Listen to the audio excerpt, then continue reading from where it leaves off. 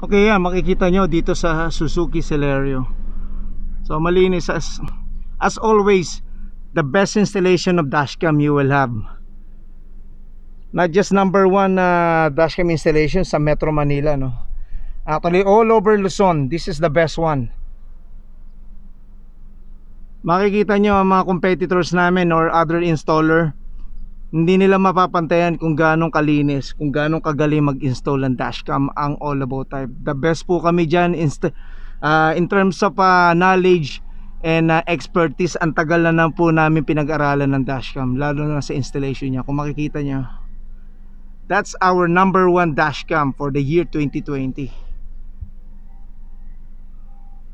Enetec po ang brand nito, original and branded po.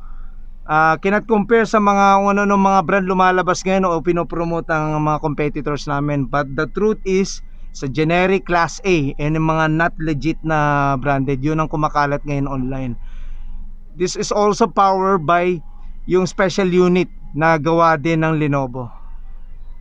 Na ibig sabihin nun, hindi na tayo gagamit ng 12 volt socket yung cigarette lighter. So malinis siya.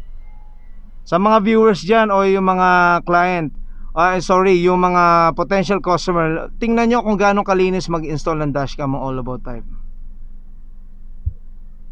And ito, itong dashcam na to, i-attach ko yung official video namin para makita ng mga viewers anong quality ng video niya for the front, rear, daytime and nighttime, yung paano paggamit. Doon makikita nyo doon, hindi ko na ide-demo dito. So makikita nyo lang napakalapad ng rear view mirror niya.